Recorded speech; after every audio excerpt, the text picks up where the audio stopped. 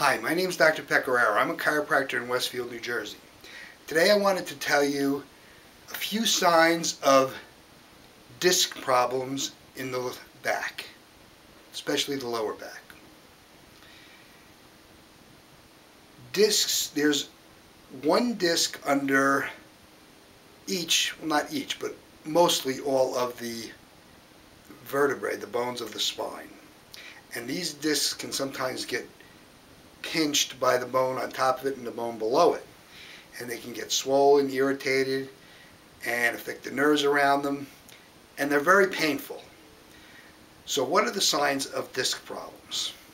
Well, one sign is if you say that sitting down for a long period of time, especially in a car, makes your back worse. This is one sign that it may be a disc problem.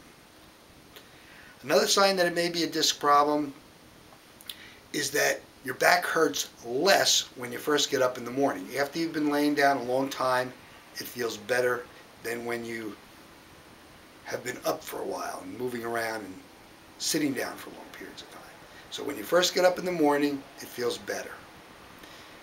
Another sign of disc problems is it hurts when you roll over in bed. So you roll from one side to the other, and it's, oh, you know, it's very difficult. Another sign of disc problems is it's hard to put your shoes and socks on in the morning. It's just torture to have to bend over and put your socks on and your shoes. It, you just really don't want to even do it. Now, remember with disc problems, you may have other problems at the same time. So that can interfere with any of these things that I'm telling you.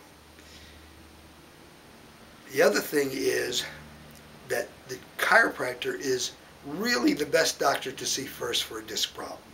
And the reason for that is because if you go to a chiropractor and this is a problem that he doesn't think he can help, he will be able to send you to the medical doctor. Whereas if you go to the medical doctor first, he's not going to know that much about the chiropractor and he won't be able to send you there if that's what you really need. So if you have a disc problem, if you find that you or someone you know is having similar symptoms similar to these, you should go or send them to the chiropractor and hopefully they'll be able to. So I hope this information has been helpful to you, and I'll see you again at a later date. Thank you.